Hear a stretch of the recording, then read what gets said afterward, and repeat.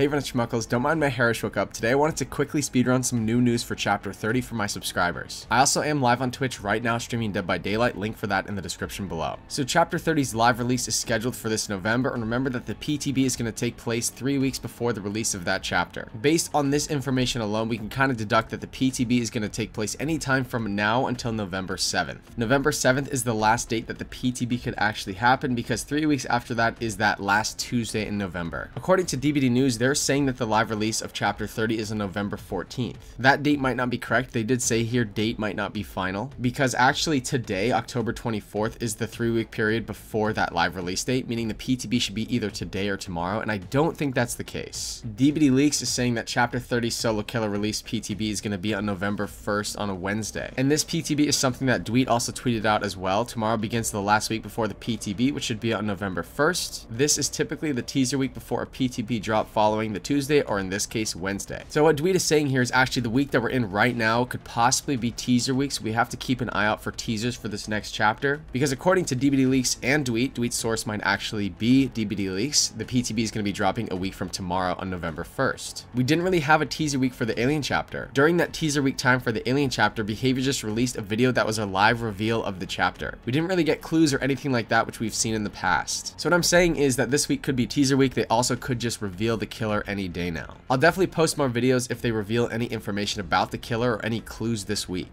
Also remember in the last video we confirmed that Matthew Cote said that there's going to be a live reveal of this chapter for Dead by Daylight. They're going to do a live stream and reveal the chapter in that way. So this is kind of something that we could probably expect to be on or before November 1st. But keep an eye out on all social medias for Dead by Daylight because this is actually the teaser week right now. This is where they would potentially be teasing this new killer. One thing I was wondering, let me know what you think about this in the comment section below is, do you think that the fact that they're not teasing this chapter during teaser week would kind of suggest further that Predator is the next killer? Typically they use teaser week to kind of hype up or kind of get people guessing what the next killer could be. When we're not sure which license is coming next in this game, they have kind of a fun time teasing us and pointing us every which way during this teaser week. But if everyone is already kind of expecting Predator to be next and it's not really that big of a surprise, would that explain why we're not really seeing any teasers for this chapter? We know that this next chapter is going to be a big license with a capital L, which is what they said at the anniversary stream, and I want you to imagine if this chapter is actually a big license like Pennywise or Five Nights at Freddy's or Slenderman or something like that. And that PTB is a week from tomorrow. I think if they had a really big surprising license, they would kind of be teasing that killer this week if the PTB is actually next week. Like, especially if it's something like Springtrap or Pennywise. This would be their big week to tease and kind of get everyone super excited for a license like that. But everyone is kind of expecting Predator for that PTB and we're not really seeing teasers this week. I still think that the top pick for this chapter is going to be Predator for reasons that we've discussed in previous videos. And my top picks for this license if it isn't Predator is Candyman, Pennywise, and Slenderman in that order. Let me know your top picks for what you think this license is going to be in the comment section below. And make sure to like this video and subscribe to this channel if you want to be up to date for any new info regarding chapter 30. And reminder, I'm also live on Twitch right now streaming Dead by Daylight, link for that in the description below. That does it for this video. Goodbye.